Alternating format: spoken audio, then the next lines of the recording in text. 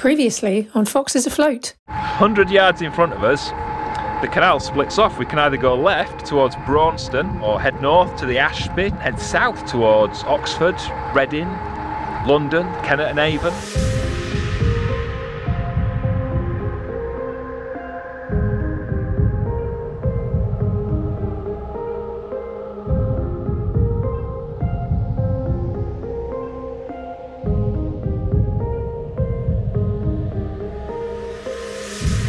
I know how a roast potato feels now.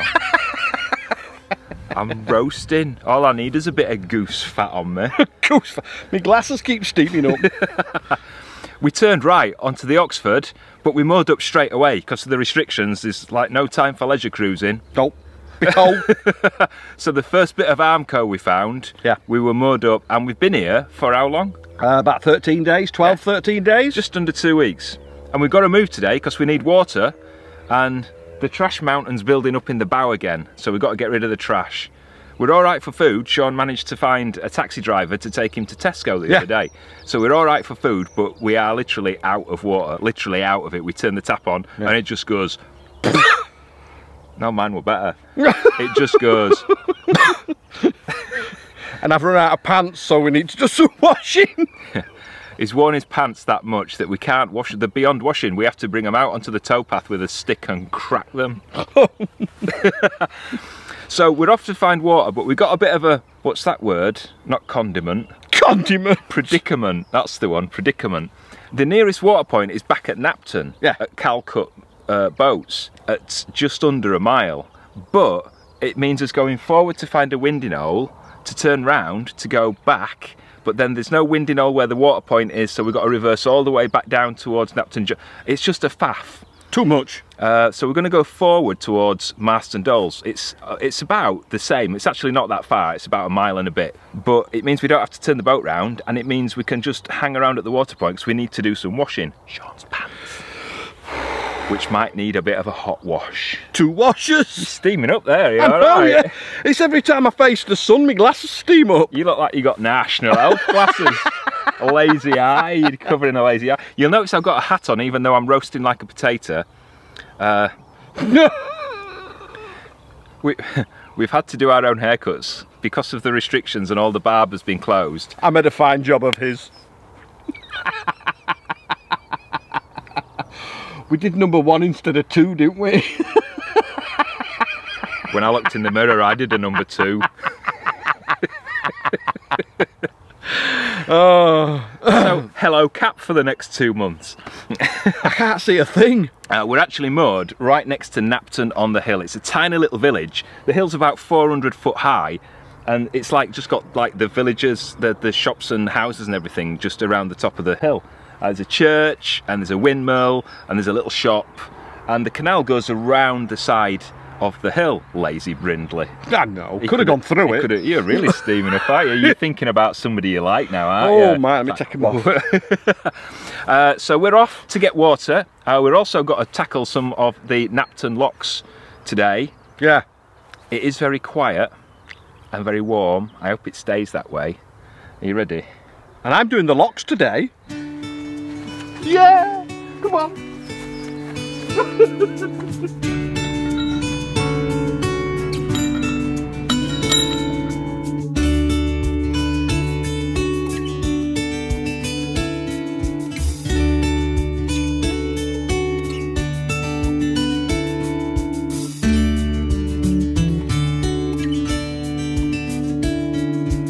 Between bridges 111 and 112, what? You always look like, oh God, what's he gonna say now? He's dug up some more info.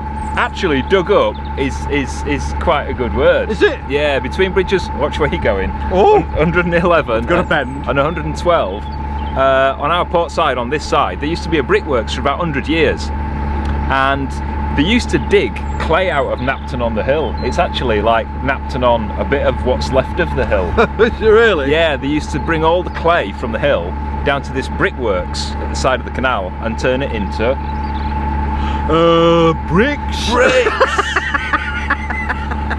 Uh, they stopped doing it in the 1970s, but you can still see the landings where the narrowboats used to take the bricks up to Napton railway station, and then they take them, I don't know, to? Build stuff. Build sheds. Yeah, Houses. sheds, wooden sheds out. Coal houses. Yeah, coal houses out of wood. Remember that picture of you and your Michelle? Oh yes. There's a photo of him and his sister when they how old were you? oh, about, about to eye, yeah. About to eye. Uh, Been playing in the coal house.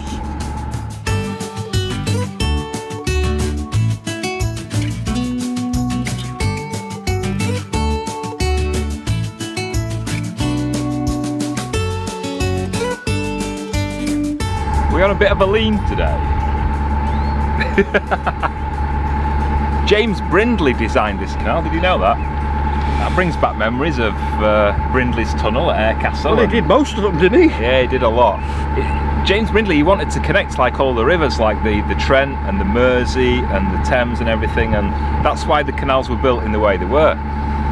But the Oxford Canal, this southern part between Napton Junction and Oxford, has hardly changed because a lot of them they're straightened out. Remember, like at Birmingham, where Thomas Telford came and just went Yep. straighten that out. I've noticed on the map this was like a piece of spaghetti. It is, it goes around all the hills, and this section between Napton Junction and Oxford, it's not really changed since it was built and opened between like 1774 and 1790. So this is exactly how it would have been like 200 years ago.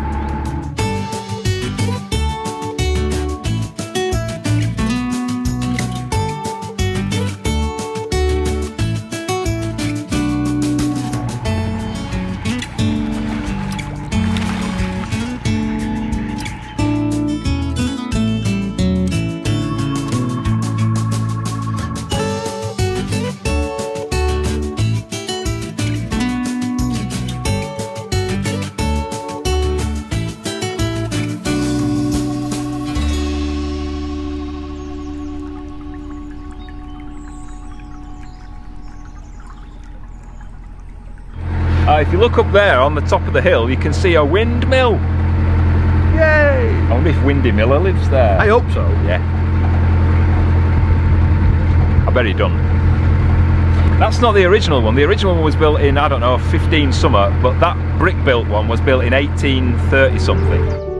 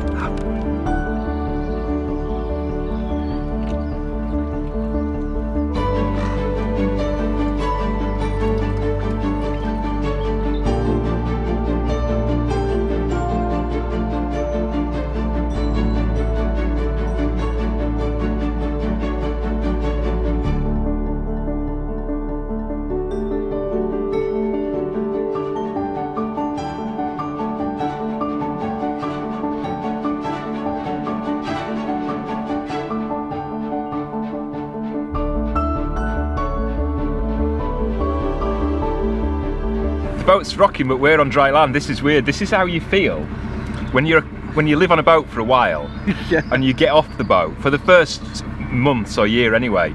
It's like you get off the boat and you go to a pub and you stood at the toilet and you find yourself swaying on dry land when you stood at the toilet. uh, this is Napton Lock 9. Just behind you, there's a big field, and the farm uh, that's there breeds water buffalo. And they sell like buffalo burgers and sausages, and they even use the buffalo milk to make buffalo ice cream, don't they? Yes. But it's shut because of the restrictions, we can't get there. Do you know what the scientific name is for water buffalo? It sounds like a combination between chewing gum and women's hairstyling products. I've no idea. Bubalus bubalis. Really? Yeah, Bubalus bubalis. That's the scientific name. That's much Wow. better than water buffalo, isn't it? Yeah. I want to be a buff bubble. Bu- bu- bu- yeah, yeah.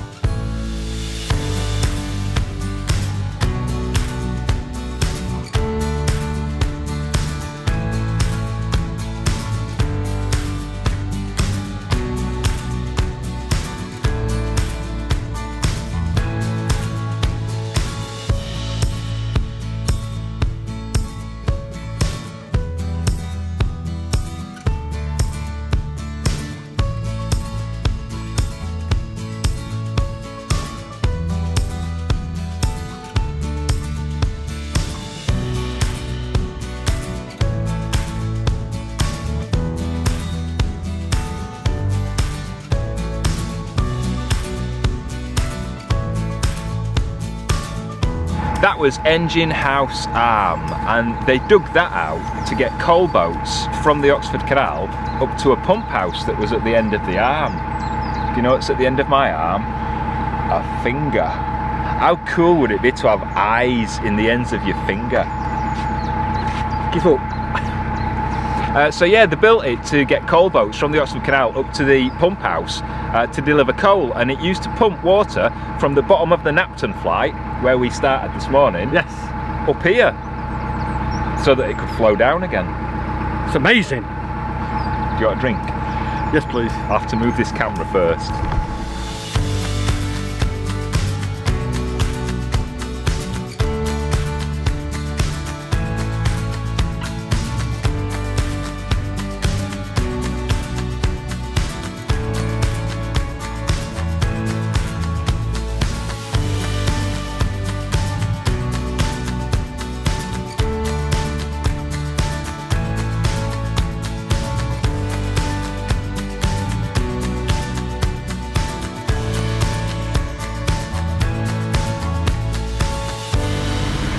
This is lovely. This is like a tiny little model village just around a canal lock. It's tiny. It's called Marston Doles. We're at lock 16, which actually brings us to the summit uh, of the Oxford Canal here at Marston Doles. So from here, it's all the way downhill into Oxford. But it's brilliant when you look at it from the drone, you can see that it's just this tiny little hamlet around the lock, and that's what it was built for back when the canal was built to stable horses.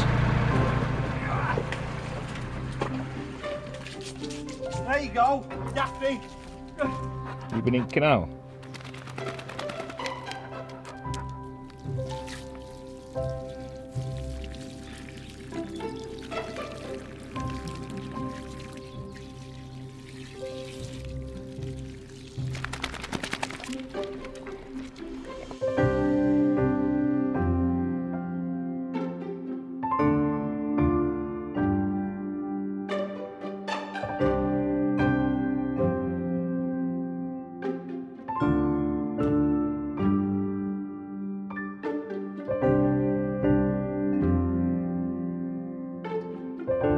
Mission accomplished! We have water, so we're all right for another two weeks. Look behind us. Nothing. We're heading out into the most isolated part of the Oxford Canal. It's like 11 miles of just nothing. So we're going to moor up the first bit of Armco we find. Yep, first safe place we can find some more. That's it, that's us done again until we need something else and then we'll move if we have to again. Uh, Dylan went for a paddle, as you might have noticed. Uh, so we've hosed him down, it's nice and clean, his lady here drying off. It cooled him down. It did cool him down. Right, where's some Armco?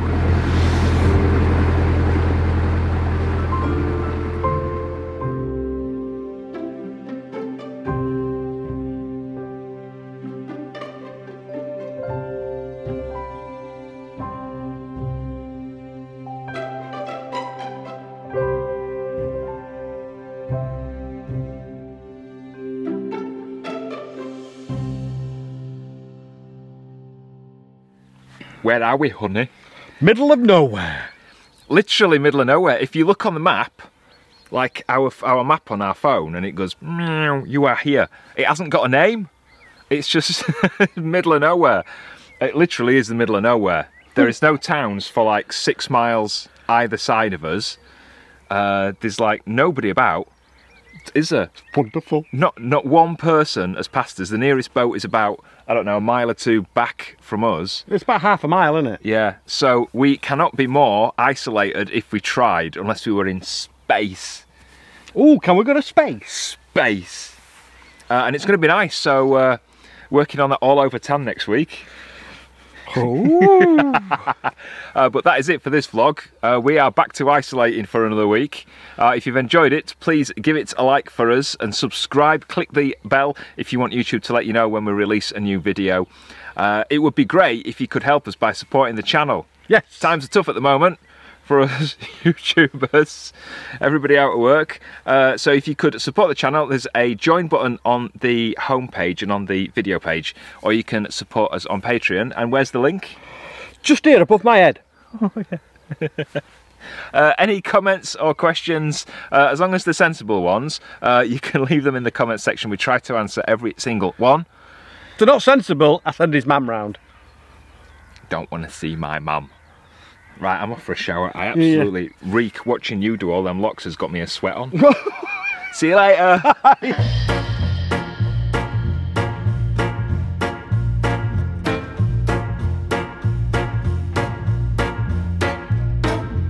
So one of the negatives of lockdown is that all the hairdressers and barbers are closed. Now I don't mind because you know I clip my hair regularly anyway. I don't. I think Sean's got some kind of sadistic pleasure. it's the sound of the clippers. Ah, so not yet. So, so Sean's going to cut my hair, which is easy because I'm just having grade two all over.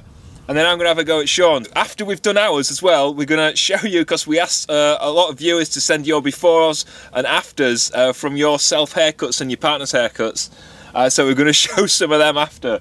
You ready? I am. Right, off we go.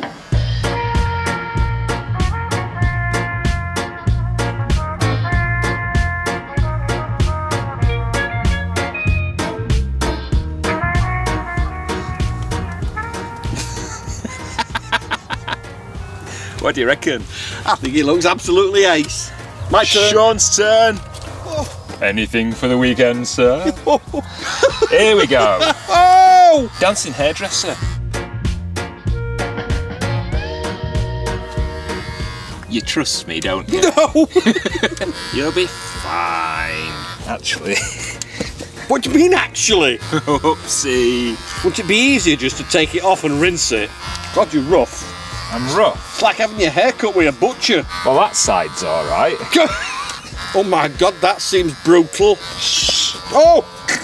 Keep stabbing me. Sure up. Smile for the viewer. Okay, close that eye. Oh, close both. yeah. Forcing me head down. Least said about that, the better. I reckon that's alright. What do you reckon? Oh, sorry, that's a bit see. close, isn't it? What? What? Keep. Get. It's a bit- Well. oh, that's all right. That. That's £10.20, please. right, that's ours done. Let's have a look at what your efforts look like. Oh, this is going to be fun.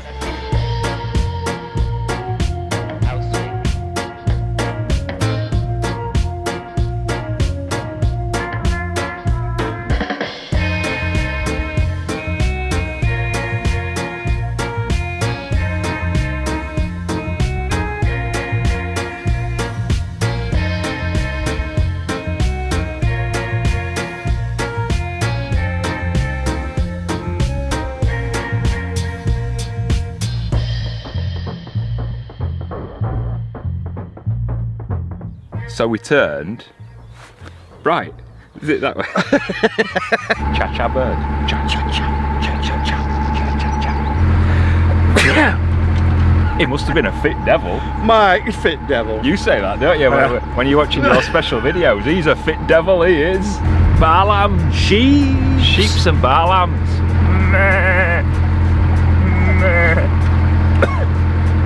Sounds like Pat. If you look, if, if, if you look, Look. look, let's go look. It's like there's a private house attached to it now, and if you go near it, it's like, Really? yeah. So I just sent the drone like 20 foot above his house. Didn't like that. I've forgotten what I was going to say then. I can hear chim chimney bird again. Chim chimney, chim chimney, chim chim chim. Sh- Amazing. Amaze balls. And cut.